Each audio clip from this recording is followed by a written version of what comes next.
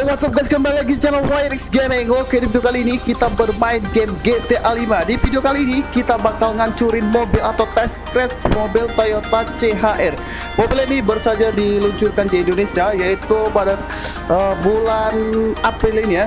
Nah sekarang kita bakal test crash di game GTA 5 seperti apa uh, hancurnya mobil ini di game GTA 5 Pertama kita menggunakan AK-47 ini untuk menghancurkan Ya teman-teman bisa lihat di sini uh, mobilnya terlihat bolong-bolong ya teman-teman karena senjata gua pakai AK47 oh tapi di bagian kacanya sama sekali nggak hancur ya.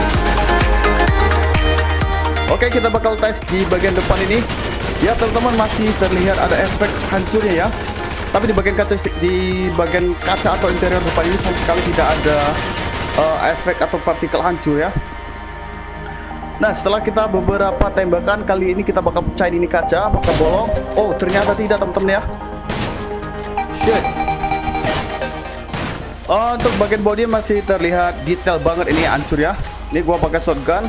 Jadi sekali tembak beberapa partikel ya tuh yang keluar. Ini kita bagian lampu belakang ini kita pecahin. Sama sekali tidak ada efek ya.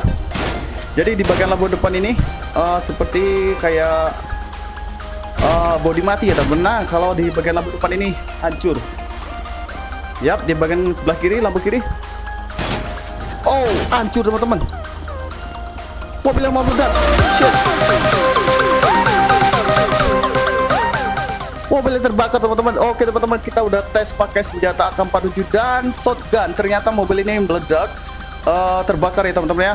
Di bagian kap depan ini bolong semua dan body samping juga bolong. Ternyata di bagian kaca sama sekali tidak.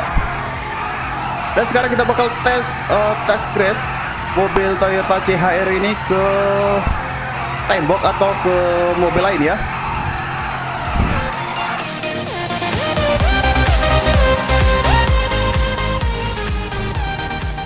Nah di sini kita bakal pacu mobil ini dengan kecepatan tinggi untuk menguji uh, body dan interiornya ini. Apakah dibekali dengan airbag atau tidak? Kita tes.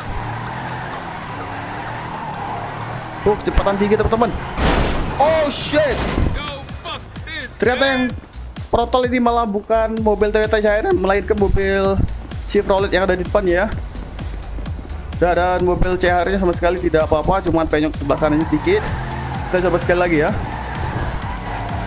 oke okay, ready Oh, mana nih lawannya? Oh, si Franklin lompat. Si Franklin terpental dari depan ya. Ternyata ini mobilnya oh, lumayan ampuh. Hanya pecah di bagian depan bumper dan oh, kaca depannya lepas nih ya. Si Franklin terlempar dari de kaca depan ini. Ternyata mobil ini tidak dibekali dengan airbag. Kalau di dunia nyata mungkin ada ya.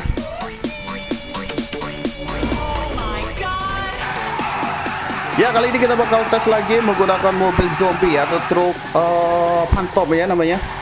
Oke guys kita tes di sini di uh, airplane ya. Di landasan pesawat. Oh, terletak jauh.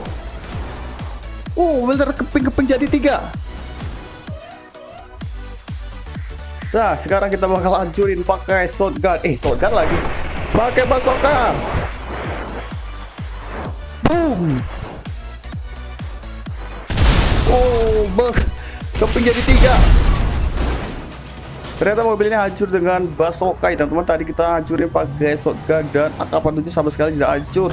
Cuma dia terbakar. Sekali ini kita bakal tes lagi di rel kereta api. Kita bakal tabrakan mobil ini dengan kereta.